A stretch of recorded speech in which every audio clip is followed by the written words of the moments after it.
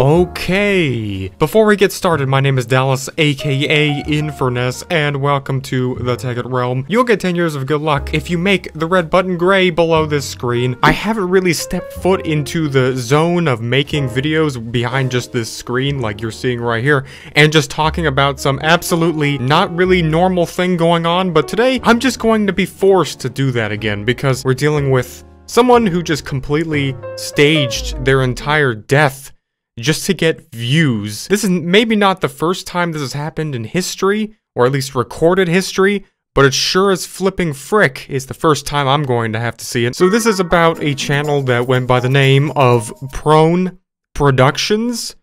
And thank you for testing out my pop filter with that one. This was just a normal channel that most likely didn't really have anyone's attention. Low-key roasted, no offense, sorry. Anyways, we're gonna be uh, basically doing this video in kind of like a nonchalant fashion, and I'm going to be editing as such. Just so you know, this has been 100% proven to be a complete hoax. So I don't feel bad at all. All of a sudden, they renamed their channel to Rip Daniel. And then they made a video on the account called Rest in Peace Daniel 22522. It's a 44 second long black screen with a picture I'm censoring just for legal reasons, apparently of the guy who ran this channel. This channel had a thousand subscribers, might I add. There was nothing else to it except for Kevin MacLeod style music and just this one PNG picture. The description, it reads like this. On 22522, owner of this channel, Daniel, no last name, was found unalive.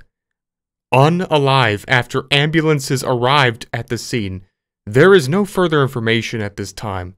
Please keep Daniel in your prayers. Who's writing this? Is it the authorities? I'm not really quite sure. Now, straight off the bat, how would I have noticed just such such a small, unfortunate thing such as this? Well, probably because after only one day, it was pretty much confirmed that not only did this guy stage the whole thing, but actually ran away from his home because the police got him 50 miles away after robbing a convenience store. This was right after posting to Snapchat that is actually connected to this channel, by the way. A single post of himself and then another black screen saying, I didn't want to go to school. And that's literally it. So now, we're going to read a portion of this article that I found, which seems to match the situation quite well and I think because of my investigation skills, I can confirm that this is 100% what's going on around here. Police apprehend 14-year-old after being caught shoplifting from a Jamestown Dollar General.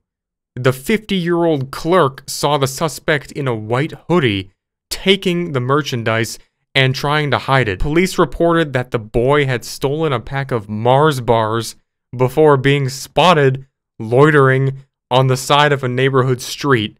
It was found out that the suspect was reported as missing in the county of Charleston a day before after disappearing from his home nearly 50 miles away.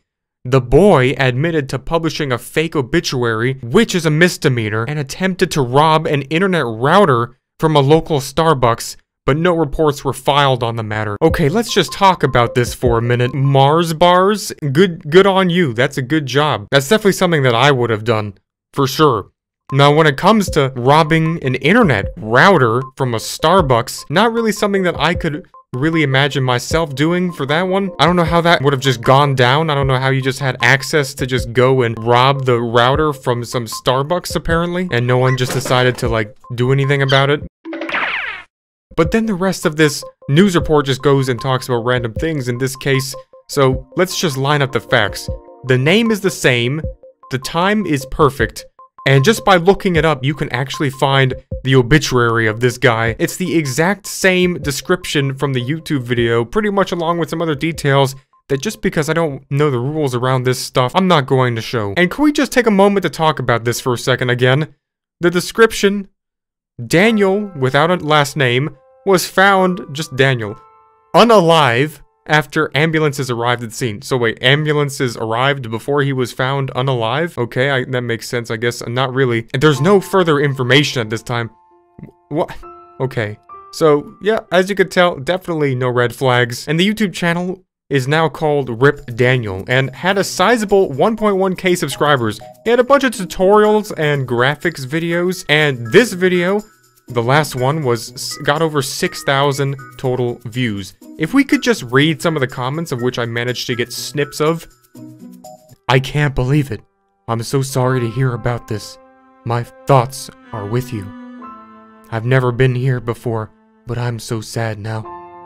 This is horrible. Rest in peace, brother. My family is grieving for you. Is this even real? LOL. Now, I just checked this morning and I couldn't really find the channel under Prone Productions, but it might still be Rip Daniel, I have no actual idea. But the fact that just some random kid would stage something to this level means that you probably are in some way related to Indiana Jones.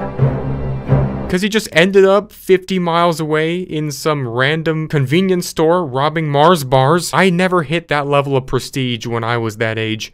This young man has high hopes for a living. And robbing Starbucks Wi-Fi? You know it's free, right?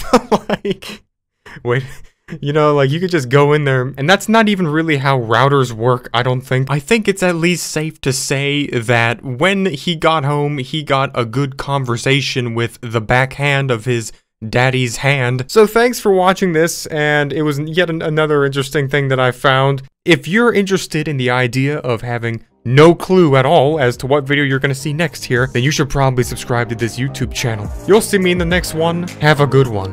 Goodbye.